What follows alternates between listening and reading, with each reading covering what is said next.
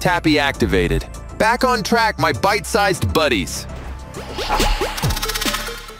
Setting up a testnet account is easier than you might think. Pick a crypto wallet that supports testnet coins like MetaMask, Coinbase, or Trust Wallet. Generate a special testnet address, different from your regular mainnet address. Get some testnet coins from an online faucet or by mining them. Remarkable achievement logged. You're ready to send, receive, and experiment with crypto without any risks. Now get ready to download data on some popular testnets. Bitcoin testnet works like Bitcoin, but without using real money. It's great for exploring how Bitcoin transactions work without paying any fees.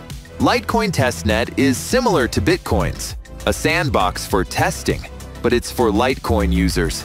Ethereum testnet is a must for developers working on dApps, perfect for trying out smart contracts and other blockchain experiments. Common Ethereum testnets include Sepolia and Holesky, where developers can play with new features.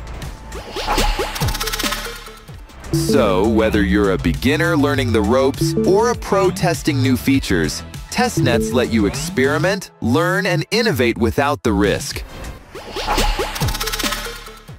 Another break is due, and in the next video, I'll transfer some info about mainnets, Tappy deactivated,